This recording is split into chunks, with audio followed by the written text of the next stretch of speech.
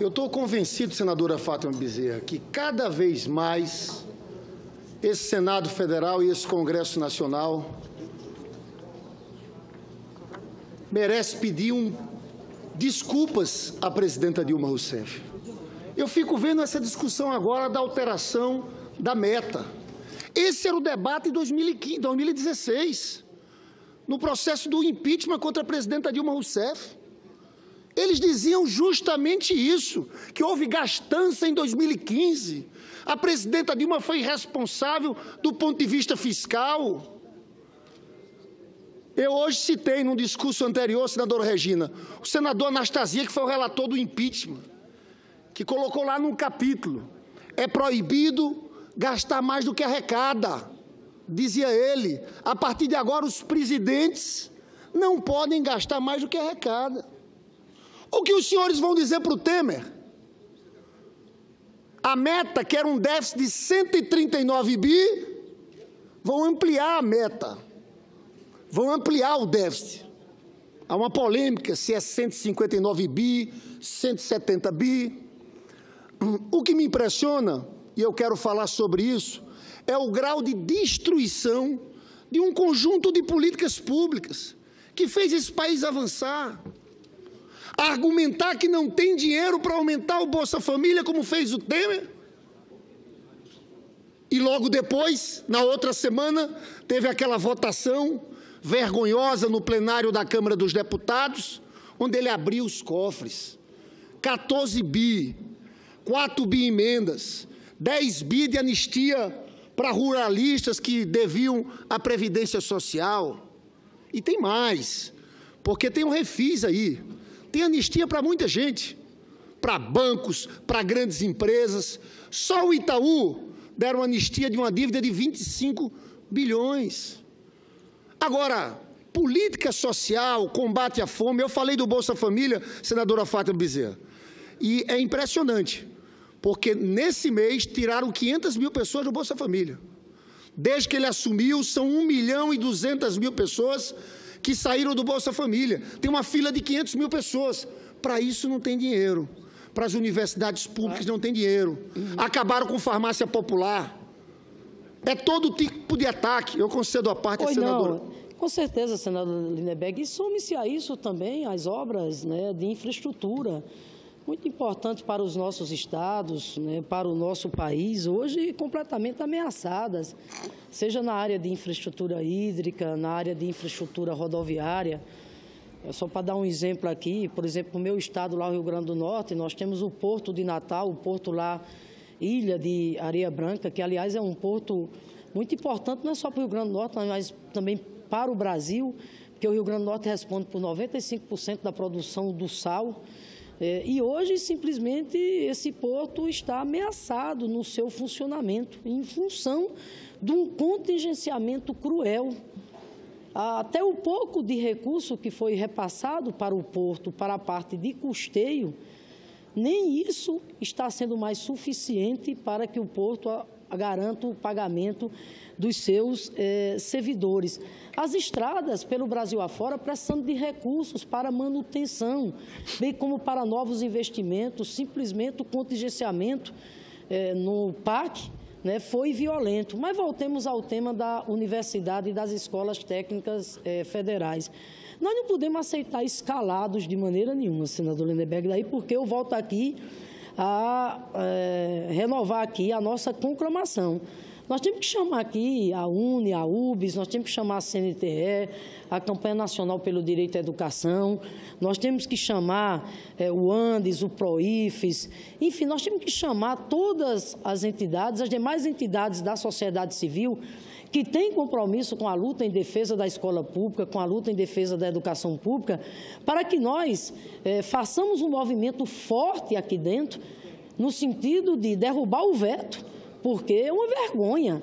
Nós não podemos deixar que simplesmente um governo ilegítimo retire o Plano Nacional de Educação da Lei de Diretrizes Orçamentárias.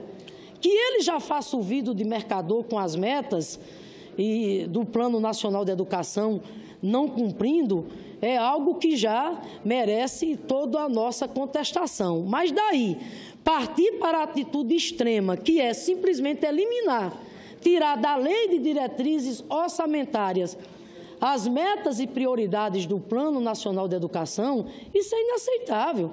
Portanto, nós temos que derrubar esse veto, bem como quero aqui mais uma vez dizer a Vossa Excelência, nós temos que exigir a recomposição do orçamento para as nossas universidades, para as escolas técnicas federais, para a educação básica. Nós não podemos, de maneira nenhuma, senadora Regina, permitir que de repente fique milhares de jovens pelo país afora com o seu semestre ameaçado. Por quê? Porque se não for garantido uma suplementação orçamentária, simplesmente as universidades vão parar, porque não tem como ela funcionar na escuridão, não tem como ela funcionar, por exemplo, sem pagar os terceirizados, não tem como ela, ela funcionar sem pagar a água, a questão dos programas, as bolsas é, e etc. Assim como as escolas técnicas. E dói muito a gente falar sobre isso aqui, porque ninguém pode aqui contestar os esforços que os governos Lula e Dilma, os governos do PT fizeram nesses últimos 12, 13 anos, que resultou num dos pro projetos mais virtuosos da educação brasileira, que foi a expansão e fortalecimento do ensino superior e da educação profissional e tecnológica. Senador Lindeberg, não brinque não. Nós saímos de 144 escolas para mais de 600. Claro, senador. Foram mais de uma centena de novos campos. O, o que isso significa, meu Deus, do ponto de vista de ter permitido que pela primeira vez muitas dessas famílias pelo país afora tivessem a possibilidade de realizar o sonho do seu filho, o filho do pedreiro, da empregada doméstica, o filho do pobre, de repente, de adentrar nessa universidade, de estar tá fazendo o seu curso, de estar tá tendo o direito de fazer um bom curso na área, da, na área técnica, e agora simplesmente tudo isso ameaçado, repito, em decorrência do momento que nós estamos vivendo, de um governo ilegítimo que e quero Senadora Fátima, só entrando nesse Sim. debate aqui, porque veja bem, eu tenho dito e dizia em 2015, o problema da Dilma ali não foi excesso de gastos, foi Sim. frustração de receitas. Exato. Porque nós estamos numa recessão. Esse diagnóstico equivocado continua até hoje. Eles falam, fazem o quê? Aumentam o ajuste fiscal, que piora a situação da recessão, e acaba frustrando mais as receitas. É um ciclo vicioso. Então, veja bem, nós até toparíamos discutir a alteração da meta primária, mas desde que fosse uma discussão republicana. Se fosse para o dinheiro ir para a universidade, para o dinheiro bem. ir para a ciência e tecnologia. No que a gente não quer e não vai fazer é dar um cheque em branco ao Temer. Aumentar a meta dele para ele usar para comprar deputados novamente em outra votação, que daqui a pouco chega a segunda denúncia. Se fosse um debate republicano, é. nós estaríamos a favor, até porque nós não defendemos essas políticas de austeridade maluca. Tem gente aqui defendendo praticamente a paralisação do Estado. Nos Estados Unidos existe isso, chama shut, shutdown, que é o fechamento do, do Estado aquela polêmica que existe entre republicanos e democratas. Vários momentos se fechou até museus nos Estados Unidos. Nós não queremos isso. Nós temos responsabilidade com o Brasil. Agora a gente quer discutir em cima de uma pauta muito concreta e objetiva, não dar cheque em branco para o Temer. Eu cedo, senadora Fátima, se me permite, o senador Paulo Rocha. Só quero concluir dizendo que essa sugestão de Vossa Excelência é, de que nós estaríamos dispostos a fazer essa discussão da revisão da meta fiscal, desde que seja de uma forma republicana, de uma forma transparente, venha ao encontro daquilo que eu estou aqui é, ressaltando e chamando a atenção, que a necessidade urgente de recomposição do orçamento, senador Paulo Rocha, das nossas universidades, das nossas escolas técnicas, enfim, da educação, assim como de demais, de, de várias outras políticas sociais. Agora, como Vossa Excelência disse, desde que seja feita com muita transparência, é, de forma republicana, com muita seriedade, porque nós não podemos é correr o risco de, de repente, em função de uma segunda denúncia que está a caminho, a gente vê novamente o festival escandaloso que o Brasil assistiu. Presidente legítimo usando mão de emendas, de orçamento de forma seletiva, de refis, de descontos escancarou os cofres do Planalto, fez do Palácio do Planalto, do Jaburu juntos, o maior balcão de negociatas que se tem, que se tem notícia da história recente do país, para livrar a cara dele, né, pelo arquivamento da denúncia gravíssima contra ele, então votada lá na Câmara dos é, Deputados. Muito obrigado. Eu passo para o senador Paulo Rocha, mas antes, senadora Fátima, dando a notícia que acabou de sair aqui, que, por unanimidade, a terceira turma do STJ manteve condenação de Bolsonaro naquele caso que envolvia a nobre deputada Maria do Rosário. A palavra senador Paulo Rocha. É, senador Lindenberg, é, Vossa Excelência é o nosso líder, líder da bancada.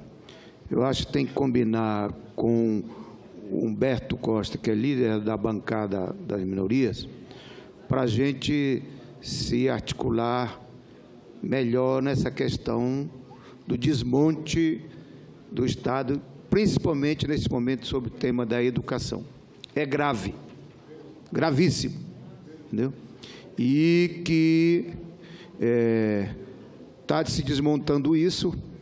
Ah, o Lula sempre repetia que um dos grandes feitos que ele considera do governo dele foi colocar o pobre no orçamento brasileiro, do Estado brasileiro, da União. Aí, Bolsa Família, Luz para Todos, Minha Casa Minha Vida e a ampliação das universidades públicas do nosso país. Tem uma ideia, só lá no meu estado, há 100 anos, só tinha uma universidade, o FPA.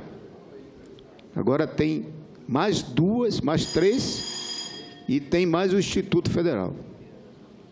E está se implantando, por isso que oportunizou a a oportunidade do jovem do interior a ter acesso ao conhecimento, etc. Por isso, é fundamental a gente prestar atenção no que está acontecendo no nosso país né, em termos dessa gravidade do desmonte é, do ensino superior público do nosso país. Desconfio, por isso era importante que você desenvolvesse esse tema, que é feito propositalmente para reduzir o tamanho do Estado perante o ensino público superior gratuito, para ceder aos espaços dos, dos das grandes grupos internacionais privados que querem entrar no país para pegar este, esta parte do ensino superior no nosso país. Prestamos atenção que, nesses últimos tempos, o Ministério da Educação está autorizando para o interior do nosso país muitas escolas de medicina privada. Claro. Entendeu? Então, é fundamental a gente estar atento nessa movimentação, porque é o desmonte do Estado e a despeito da dificuldade é, orçamentária, econômica do nosso país, mas, na verdade, se oportunizando para desmontar isso que foi um grande avanço que a gente construiu no nosso país. Eu agradeço, senador Paulo Rocha. Vossa Excelência está certo. É um ataque muito violento à educação brasileira. O PNE, na verdade, não é uma política de governo, é uma política de Estado, que foi aprovado por unanimidade nesse parlamento e eles vetaram a prioridade do PNE. E eu não tenho dúvidas de afirmar, senador Paulo Rocha, que o objetivo por trás desse ataque das universidades públicas é a privatização, é acabar com a gratuidade. Está vindo tudo de uma vez só. Eu agradeço muito a parte dos senhores. Muito obrigado.